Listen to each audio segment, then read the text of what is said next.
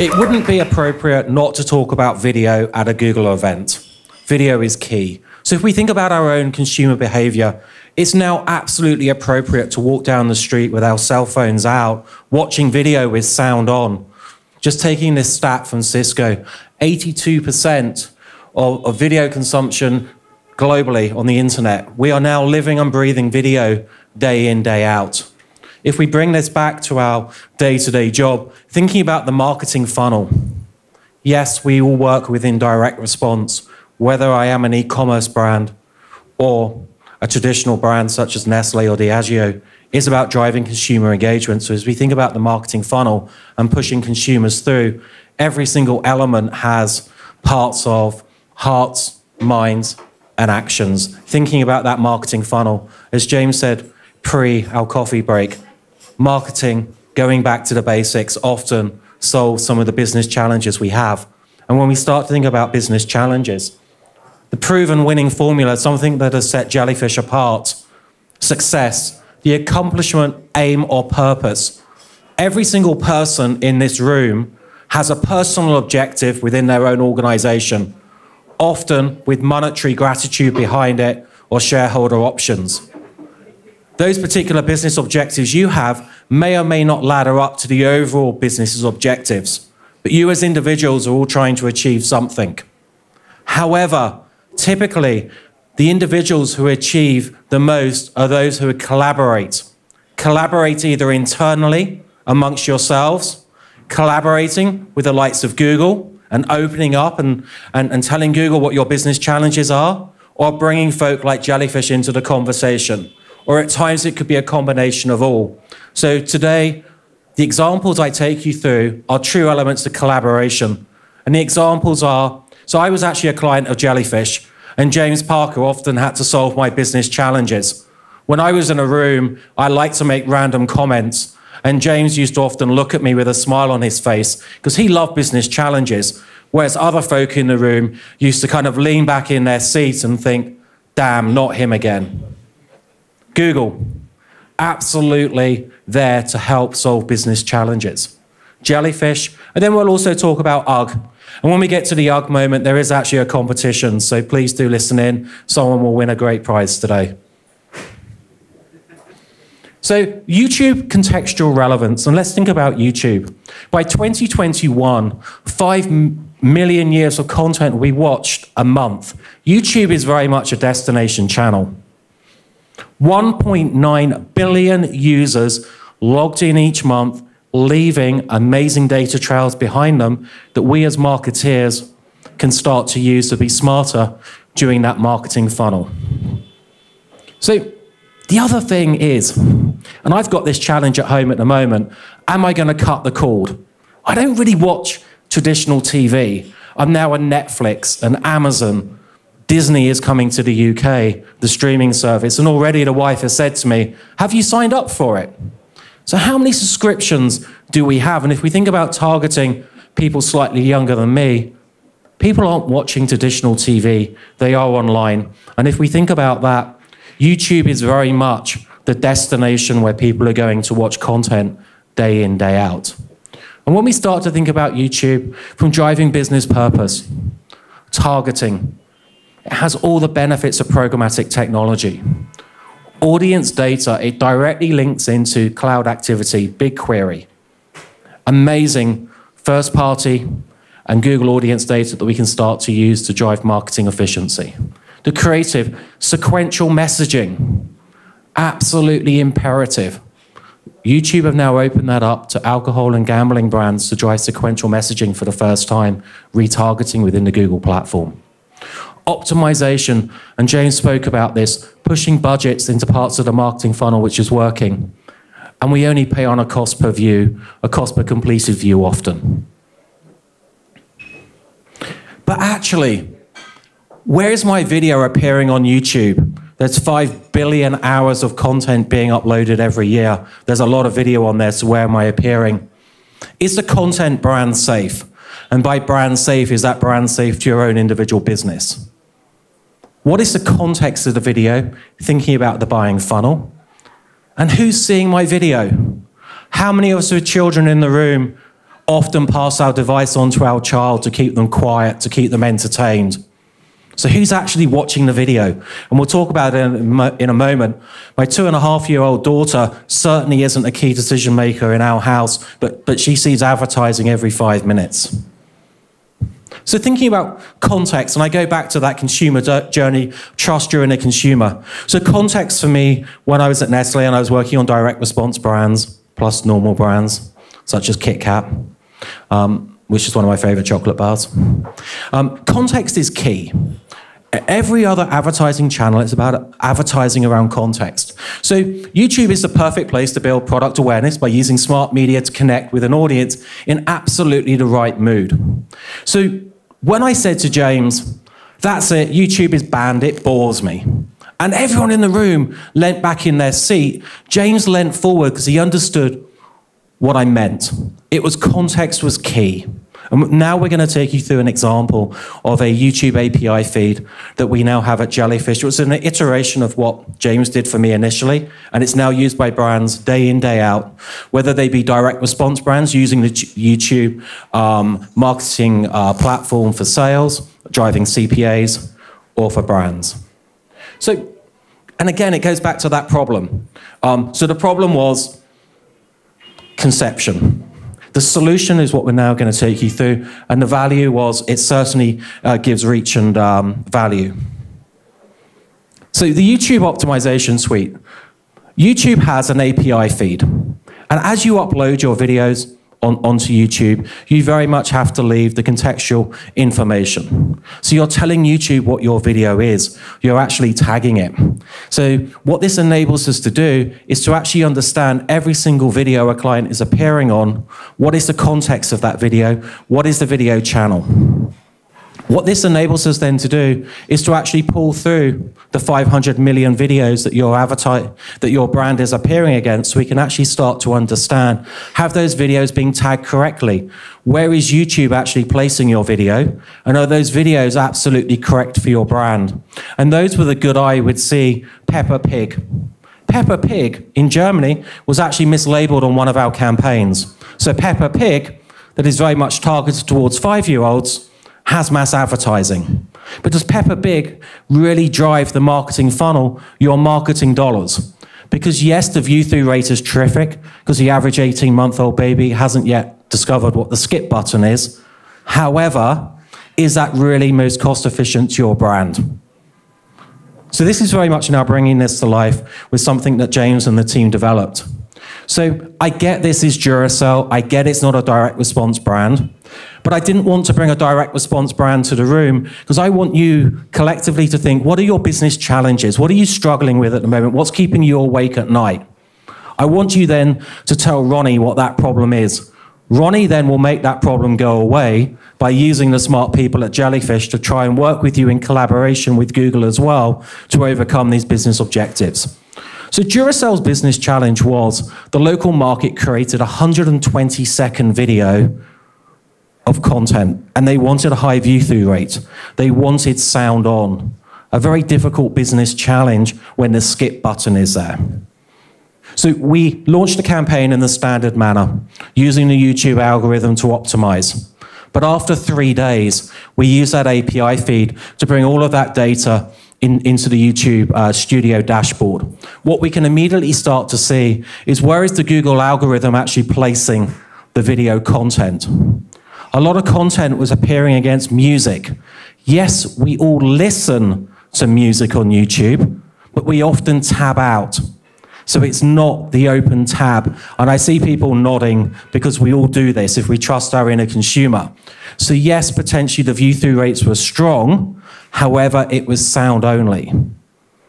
What we could then start to see was a number of children's cartoons again that weren't actually driving the buying metrics. We could then start to see which videos had the strongest view through rates, thinking about that contextual relevance, thinking about ratings and reviews videos. Typically, for brands who are trying to drive business metrics down the lower end of the funnel, are absolutely perfect videos that you would actually want to upweight your spend on. So it enables you to take those 500, and, uh, 500 million videos that you've appeared on in the first three days to really start to see which videos do you actually want to upweight on to bring that contextual relevance and possibly bring that additional brand safety to your campaigns. And, and, this is an example of the um, of the output. So we had music, uh, film, animation, entertainment. So it gives us the category, the video code, the number of impressions of views, the costs, and the likes. So it starts us to actually enable us to see which channels. Thinking about YouTube preferred, this is almost your version of YouTube preferred. When we actually set this live, and, and here's the data, is what you see is on the 6th of December, the views were 100,000 with a view through rate of around about 15%. When we actually went through the YouTube optimization, yes, our actual views dropped on the 10th, but you'll see the view through rate has gone up. And the brand's objectives was to drive view through rates because they believed that was going to drive the brand presence. So immediately by using the API tool, we could actually become smarter in the way that we were driving our marketing dollars. We were able to cut the channels that weren't driving the efficiency, but potentially look to upweight our spend on the channels which were. Because by upweighting our spend on the channels that were working meant that we could actually then drive our view through rate and actually appear within the most contextual relevant channels. And again, when we look at the bottom, it's very much driving the impressions against the views. Now, the only watch out here is what is a fair level of optimization. So we can keep on cutting and cutting and cutting channels. However, the actual uh, uh, bandwidth of inventory then becomes limited. So it's about finding the right level, working collectively within a team to cut the uh, videos that you want to cut, but not just cut for the sake of cutting. And then ensuring that you're paying a fair price for your inventory moving forward. But what this shows, it's possible to use uh, API feeds within YouTube to actually drive efficiencies within your marketing spend, building that contextual relevance. And again, as an output for this brand, because we weren't doing direct response, the brand uplift, the brand awareness perceptions significantly increased because when I had given my daughter the iPad for Peppa Pig, when the brand awareness study came through, I could actually answer it because I'd actually been watching the videos on YouTube and not actually watching the likes of Peppa Pig. So in the first half of what I'm presenting, I just wanted to show something that was done in collaboration, initially through myself as a client with Jellyfish. It was a business challenge for myself. We have used this for brands who are chasing CPAs, again, taking the YouTube API feed and actually then um, evaluating after 72 hours, where's the marketing budget going, starting to tweak those channels, starting to dial down some of those channels. And this is uh, driving extra efficiency for clients. The second project I wanted to talk about, again, was a business challenge that UGG part of Deckers, and uh, we, we mentioned UGG earlier on, they had a business challenge. So if we think about the way that we normally do A-B testing, the way that we actually start to ask ourselves a question, when we start to actually analyze the creative, if we're going to be doing creative testing, traditionally we need to do that up front. We actually need to do the correct tagging. Now, when we actually start to tag that creative, it become expensive because many people are involved in that decision making. Thinking how many of you sit in a room and actually decide what you're actually going to test on that creative test. It's manual, it takes time. And it's quite rigid because we can't look back when we, when we ask ourselves the initial business question. We can only look forward. And again, from a jellyfish perspective, some of the creative insights we've been seeing over the last 12 to 18 months, showing the brand logo within the first five seconds of a video increases recall. 101, but common sense. Creatives with a natural outdoor images like trees or beaches outperform those with a city image. Creatives with multiple faces showing happiness lead to a higher engagement. No one likes to see a sad face. And keywords like limited or exclusive are critical, but only percentage of our creators have them. Does our creative really drive the engagement we thought? So the power of a proof of concept, and this is very much using um, BigQuery from the outset, which obviously the majority of the people in this room has. So change is hard within an organization. It takes a change agent. Someone putting their hand up and says, I actually want to solve that business challenge. And it's even harder when the organization fears change because a lack of vision, or even worse, is trying to jump on the jargon bandwagon how many friends and folk do you know who go on LinkedIn and then start to use that jargon within 10 minutes because they've read that one article and now they think they're an expert in supply path optimization or an expert within dynamic creative, having just read a couple of words? We all have friends who do that, often within our own organization, that then create headaches for us for several days later as we try and justify why we actually do our job in the way we do. And again, I see smiles because we know that's true the LinkedIn curse. So, proof of concept, create a vision. By fleshing out the requirements and opportunities for a competitive advantage, we all want to do better than our competitors. Aligning the stakeholders, often easier said than done, and generate momentum. Often those small initial wins enable you to create the momentum, build the momentum. We don't need to build the rocket ship on day one. We can build a rocket ship on day five when we've proved proof of concept. So Optics. Optics is um, the creative intelligence tool. This is open source technology within Google. Google's technology now can actually read creative and actually start to understand how likely is, is that creative going to perform. So on this particular advert, we can see the face sentiment detection. It's joy. From a Google perspective, five green bars. Very good. It can detect we've got a peach. For some reason, Google believes that peaches are a positive to driving positive brand sentiment. Again, it can detect the dominant colors. The Google API tool can now actually read your creative and actually give you a viewpoint on how that creative will actually perform. And again, Everything is stored within Campaign Manager. All of your assets are in Campaign Manager, and this particular tool can actually look back because your assets are in Campaign Manager, something that you as humans typically can't do when you're tagging up campaigns. So we go from Campaign Manager um, into Cloud Data Flow. We then go through the Vision API that I'm talking about, and then we push that out into BigQuery. And all of this is powered by cloud storage. It's very simple for smart folk like you in the room to do this. You can go back to your offices tomorrow and start to play with this. Starting to come back to Ronnie and ask Ronnie how you're going to improve the business outputs. And again, one of the, one of the challenges UGG had is what creative performs better? Is it two or four shoes? And again, I'm sure there's been lots of conversations in their offices discussing shall we have two shoes or shall we have four shoes? Now, I'm going to take you through an experiment in a moment where we had either two, four, or six shoes. So if everyone wouldn't mind standing up. Okay. If you thought six shoes was the ideal frequency, please put your hands up. No? Okay. Sit down at the back. If you thought two shoes was the ideal frequency, put your hand up. Sit down. For those standing up, who owns a pair of UGG shoes? No one. So the lady at the back, no, the lady has just looked round. You're going to be the winner of the competition. I'd like to see Ronnie afterwards, and we'll make sure you have a Google Home sent to you. Because, and the reason I did that was we as humans make irrational decisions. We're not using technology and science to answer these questions. It's about a gut feel. But we've also made those gut feels in our own business.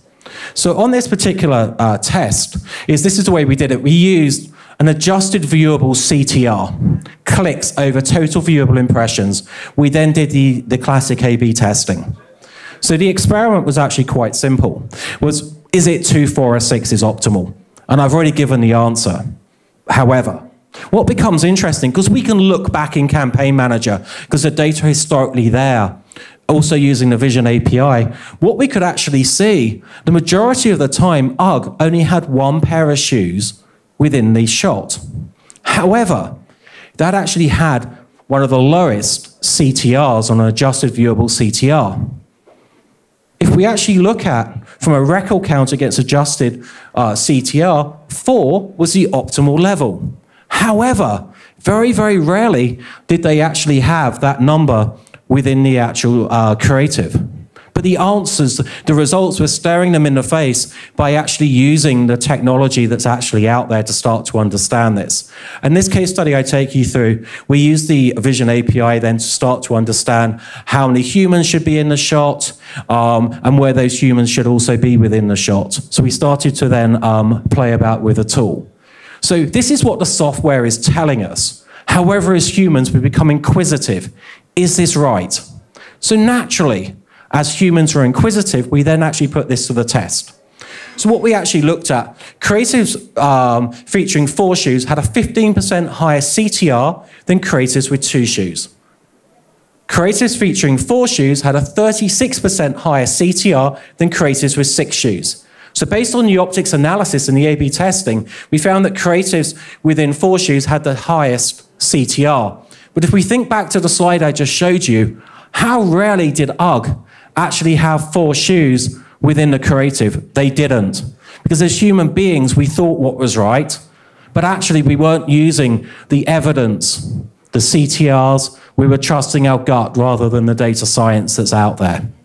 So the purpose of me showing this particular uh, case study was to say, open your minds. It's about collaboration, about solving business challenges. Collaboration brings success. It's fair to say that when UGG saw this data, they then changed their creative messaging and they continue to use this tool to understand what is optimal within their business. And, and just closing this section, and, we're going to share these with you. So it's just bringing those results to the table. As I said, what I've taken you through was only the first element of what we did for UGG. We continue to refine and develop, as I said, starting to understand more around colors, types of shoes, um, to bring this to life. But in this section, which is now coming to an end, the purpose of this was to say if you stay insular within your own business, you're not going to achieve your own personal goals, but you're also not going to achieve your own business goals. So, in the next week or so, think about a business challenge, something that you might be struggling to solve at the moment, and bring that to the folk at Google bring that to the folk at Jellyfish, and let's collaborate together to see if we eh, see if it's possible to actually help you make your life slightly easier when you come to the office every day. Thank you.